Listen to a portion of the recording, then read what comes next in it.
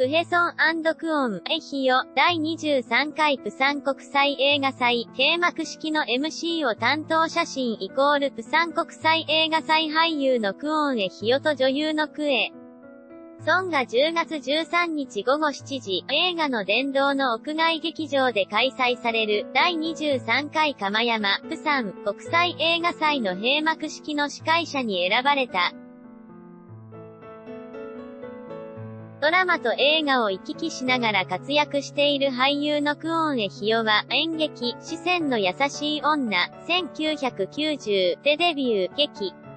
ダンレパートリーの団員時代にジャンホ監督のミョンジャ・アキコ、ソーニャ、1992で映画界に進出した。さらに、千歳愛久美穂、1994、ゴーストママ、1996、ラストプレゼ。と、2001、セシボン、2015、多多数の作品で様々なキャラクターを演じた。また、1998年から16年間 KNN のシネポートの MC を務め、安定的な進行能力を積んできた。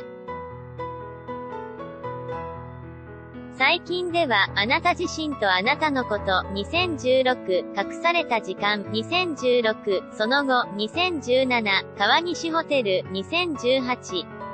ナマズ、2018などに出演しながら着実に活動中であり、昨年はプサン国際映画祭、今年の俳優賞の審査委員に移植された。映画監督であり女優であるクヘソンは2004年人気シットコム、シチュエーションコメディ1話完結で連続放映されるコメディドラマ、ノンスト。プゴで知名度を上げ、ドラマ、花より男子チルダボーイズオーバーフラワーズ、ディアブラッドを私の守護天使、などで愛されてきた。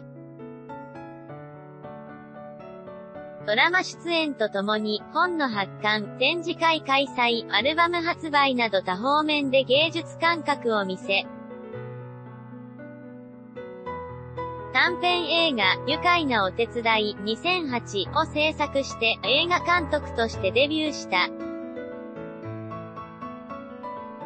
今年はミステリーピンク2018で第19回チョンジュ、チョンジュ国際映画祭 D